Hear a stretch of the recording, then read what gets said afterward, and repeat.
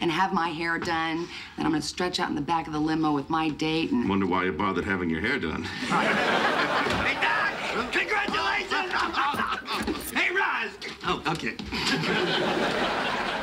Well, I understand congratulations were in order for you as well, Bulldog. What is this? Uh, four nominations? Three wins? Yes, I've been a uh, symbol of broadcasting excellence in Seattle since 1991.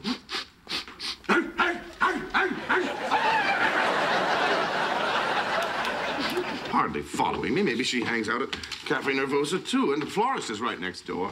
Gotta be careful out there. There's a lot of creeps. Oh, Rosin, I hate that word creep. I've met a lot of odd people in this business. I never referred to any of them as a creep. hey, Roz, will you stop wearing those corduroys? Come on, you look beautiful. Come join us. Hi, I'm Cindy Carruthers. Hi. Hi, guys. Oh.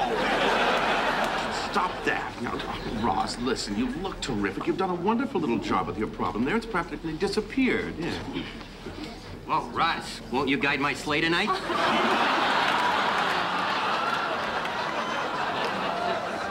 and who's this lovely lady? Cindy Carruthers. Yeah, be careful. She has a concealed weapon. Makes two of us.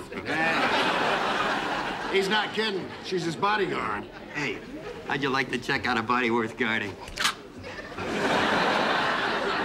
If I move my thumb a quarter of an inch, I could kill you. Whoa, I've never been so turned on in my life. Okay, let me go. So, can I call you?